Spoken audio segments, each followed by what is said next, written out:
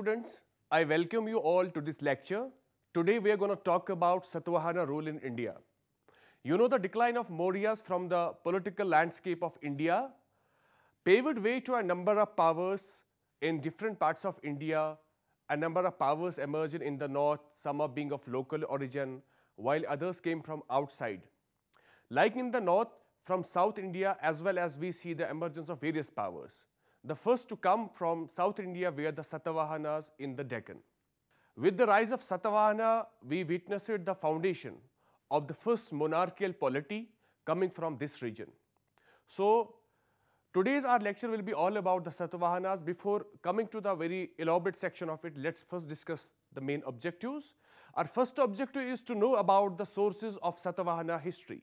Our second objective will be about to know about the political and administrative structure of Satavahanas and to understand the impact of Satavahana on the social and political landscape of South India. So let's begin with sources. We have a variety of sources on the history of Satavahana, both in the form of archaeological and literary texts. However, most of the information about the Satavahanas comes from a literary genre called the Puranas. The Puranas contain a long list of Satavahana rulers. The list can also be used in conjunction with other literary and archaeological sources. There are problems in using Puranas as a source independently as the name and duration of different rulers varies in different Puranas. There are number of myths and legends mentioned in Puranas which totally distort the picture of Satavahana rule. However, if we use the information provided by them in light of the other sources or in comparison with the other sources like coins and inscription, they become an important source on Satavahana, especially on their political history. As we know that Satavahanas minted large number of coins in lead, silver and alloy of copper. The silver coins of Satavahana rulers carry the image of the kings and their names. The other source that provide valuable information about the Satavahana are the edicts discovered in Buddhist rock cut caves and record donations made by Satavahana kings and coins to the people of their kingdom.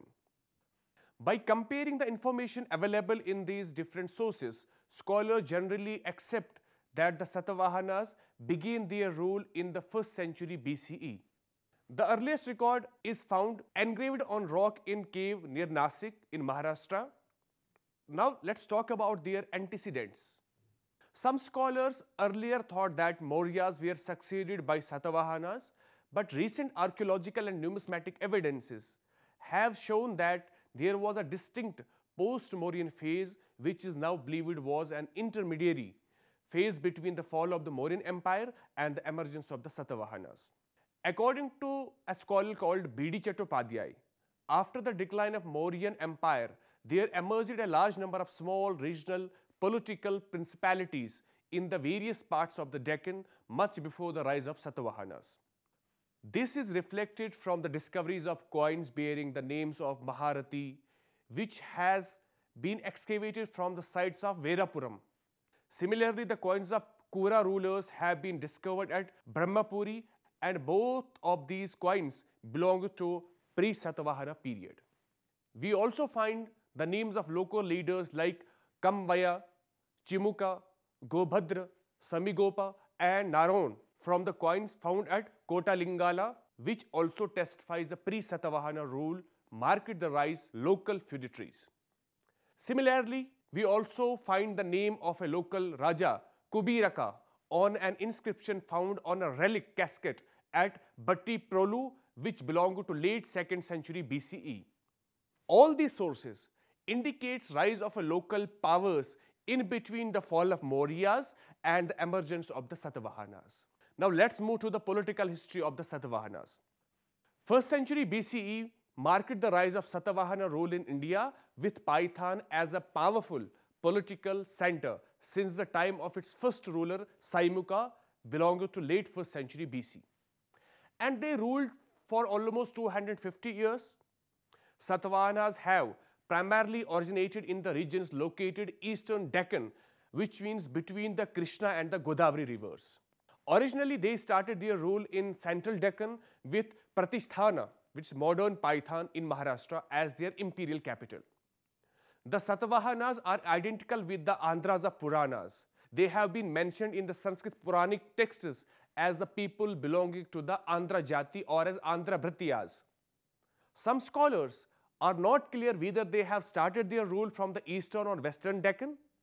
Since they call themselves Andhras, they probably belong to the Andhra tribe.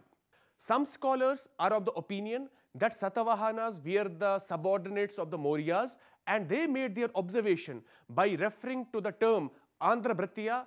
Bhritya means servant or subordinate. Others raised a voice over such observation by saying that Andhra Bhritya originally means servant of the Andhras. Thus, it may apply not to the Satavahanas but to their successors. The discovery of coins in the Karimnagar district of Andhra Pradesh indicates that Satavahanas had begun their rule from eastern Deccan. But the discovery of inscription at Naneghat and Nasik caves point to the western Deccan as their initial base. Some scholars are of the opinion that Satavahanas had started their rule from Paithan in the western Deccan and from there they expanded to the eastern Deccan, Andhra and the western coast. Inscriptions of Ashok mention Andhras as the subject of the Mauryan Empire. The inscriptions of the dynasty mention them as Satavahanas, not as Andhras or Andhra We find a long list of Satavahana rulers of Andhra from the Puranas.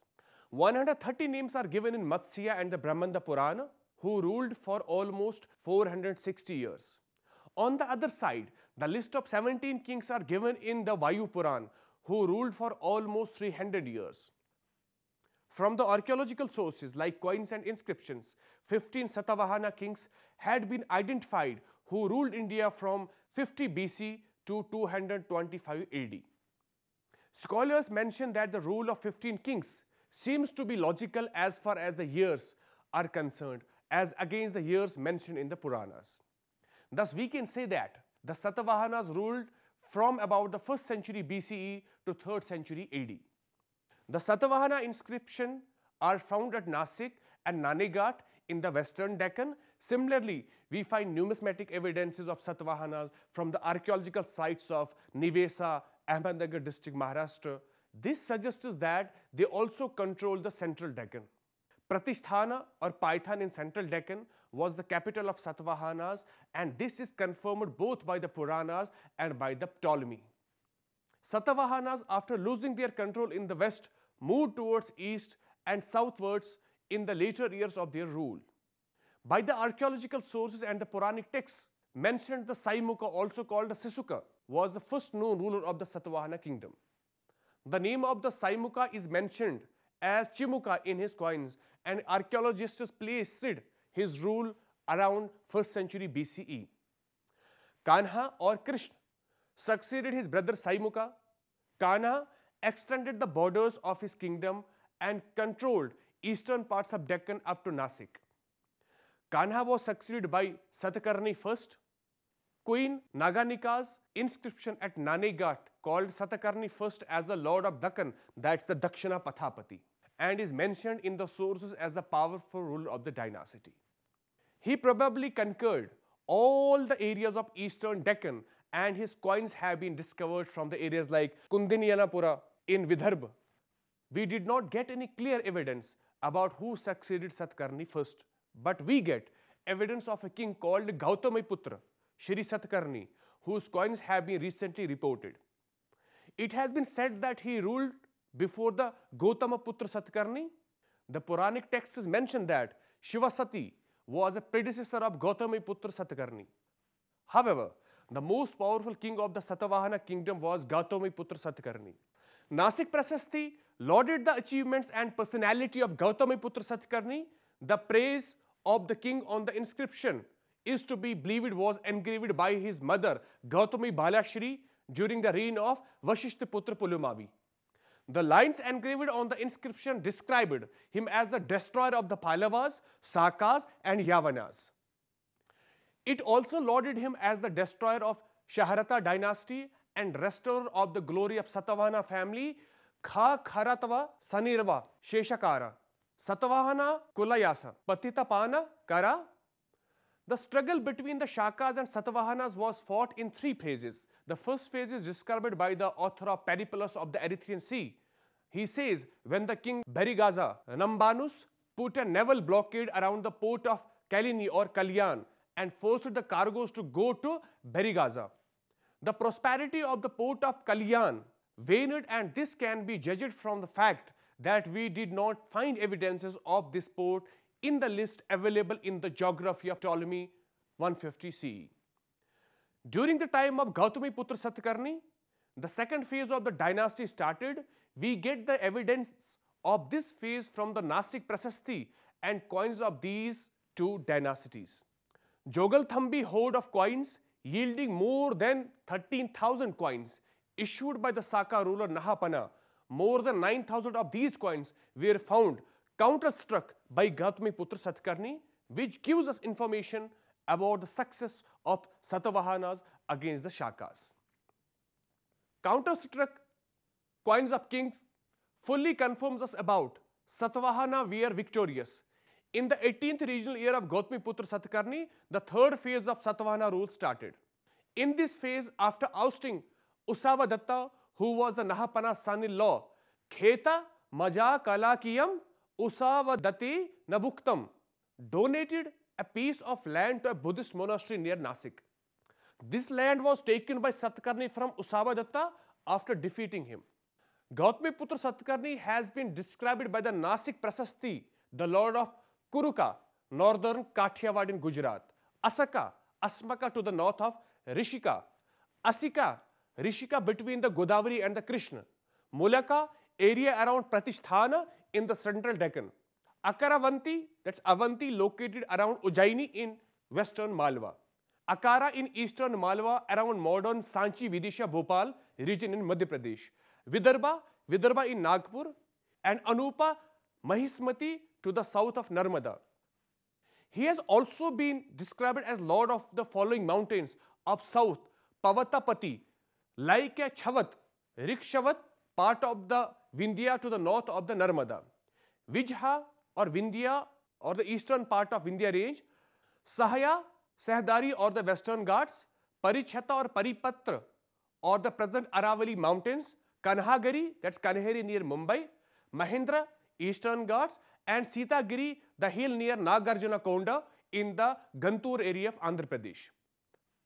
When he is praised as the king whose mounts drank the water of three oceans, Tisa Muda Tiyo Pithavahana, controlling the whole of the territory from eastern to western seaboards, he has correctly received the title as the Lord of Dakkan, that's the Dakshina Pathapati.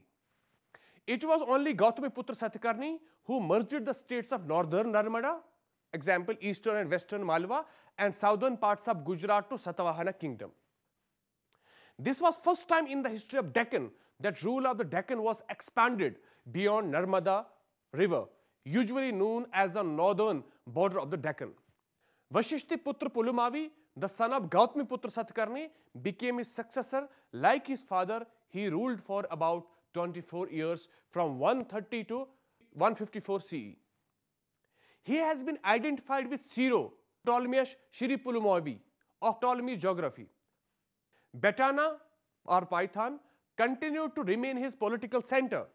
Four inscriptions, that's year 2, 6, 19 and 22 of his era has been discovered in Nasik which means he retained his control over this area and also over Karle near Pune. Apart from that, Amravati region was also under his control as his inscription from Amravati in eastern Deccan suggests that. The ships shown in his coin suggests his control over the sea trade. Satavahanas faced a lot of difficulty at the hands of the conquest of Rudradaman first, but they managed to retain their control over territories of Nasik and western Deccan. Two inscriptions of Vashishti Putra, Satakarni from Nasik and Naneghat in his year 13 have been found. Among the later Satavahana kings, the name of Yajnashri Satakarni is prominent. His inscriptions mentions that he ruled about 27 years during which the Satavahana continued to rule over the territories comprised Nasik, Western Deccan, Eastern Deccan and Vidarbha. He has been mentioned as the last of the powerful kings of Satavahana kingdom. All his successor kings ruled over a much reduced territory which was confined to Andhra Pradesh and the Bellary area of Karnataka. Silver coins with busts issued by later Satavahanas mostly provide us information about them. Vashishtiputra Pulumavi started issuing such types of coins which continued till the end of Satavahana rule. In all the sites of Andhra Pradesh, the coins of Vishishtiputra Pulumavi were discovered. Bust type of silver coins belongs to the following rulers Vashishtha पुत्र सत्कर्णी, याजना श्री सत्कर्णी, वशिष्ठ पुत्र विजया सत्कर्णी, वशिष्ठ पुत्र Shiva Shri Pulumavi Vasishthiputra Skanda Satakarni they are also found in various sites Madariputra Pulumavi's name is mentioned in some coins who may also be considered as a late Satavahana ruler all these rulers probably ruled for a very short period Puranic sources do not mention some names of later Satavahana rulers and are only known through their coins. The coins with bilingual legends, in addition to the name of the kings in Prakrit, also carried a legend in South Indian language, were issued during the time of Satavahanas. The end of the Satavahana political presence in Deccan is likely to have taken place in 225 CE. The end of the Satavahana rule paved the way for the rise of Vakatakas in the Deccan. The interest of Satavahanas in the commercial activities is reflected from their regular issuance of coins with ship motifs single or double masted. Grand epithets were bestowed upon the Satavahana rulers when they were compared in valor with several epic heroes. Brahmanical tradition and Vedic sacrifice like Ashwamedha, Vajapeya and Rajasuya were performed by the Satavahana kings.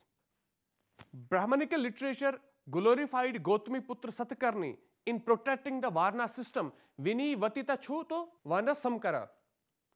Inscriptions showed that Satavahana rulers gave equal importance and status to their coins. Both Nayanika and Gautami Balashri were given equal powers. Nayanika, in fact, served as a queen regent when her son was a minor. Her names inscribed on one side of coins with her spouse Satkarni's name on the other. Now let's shift to the administration of the Satavahanas. Like Indo-Greeks, Kushanas, Shaharatas, Kardamaka rulers, Satavahanas too maintained diversified and large armies in view of the numerous wars which they fought against Shakas. The Satavahana ruled in different pockets and were always engaged in colonizing other areas. Their territorial expansion was based on the strength of their army. Apart from the cavalry, the Satavahanas possessed infantry, chariots and elephant forces. The army commander was known as As Mahasenapati, often associated, however, with discharging civil functions.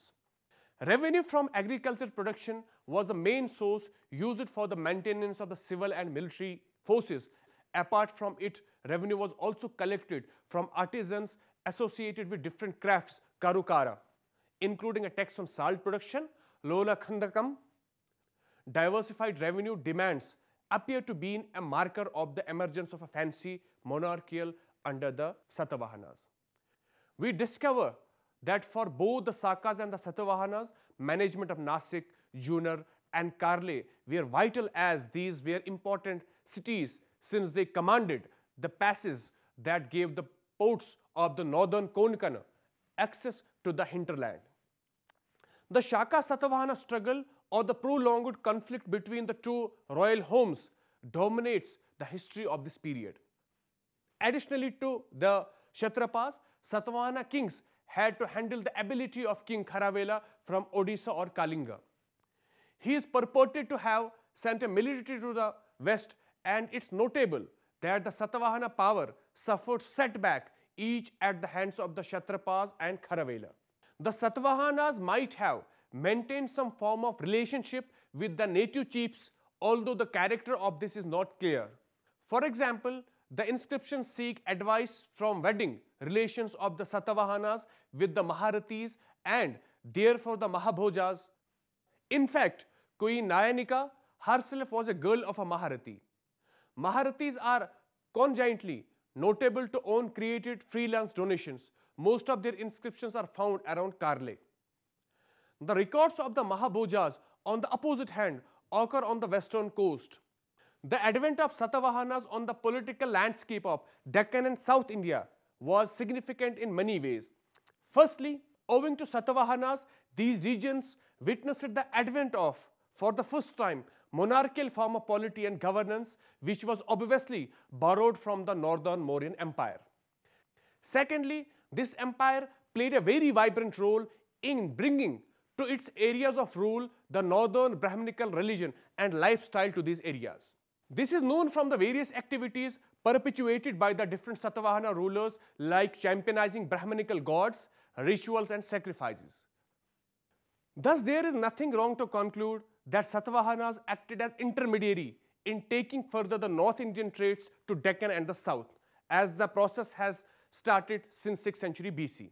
Dear students, with this I conclude my today's lecture. Hope you have enjoyed and understood it well. See you in the next lecture. Till then, take care and goodbye.